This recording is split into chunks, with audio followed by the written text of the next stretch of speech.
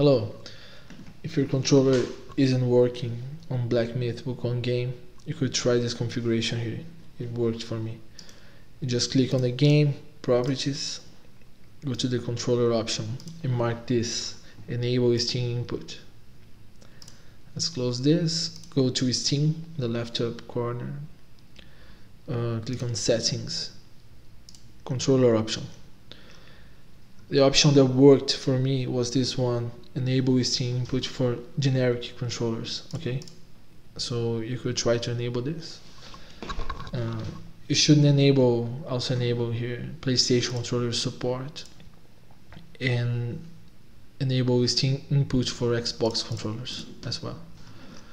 Up here, I select the first option here, but if it doesn't work for you, you could try to select other options here but the first one is working for me.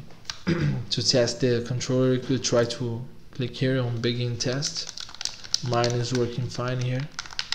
But if your controller doesn't work or something is wrong here, you could try to set up device inputs here.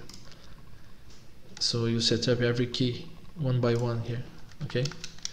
But mine is working fine here. After this configuration, controller worked fine on the game. Alright? That's it.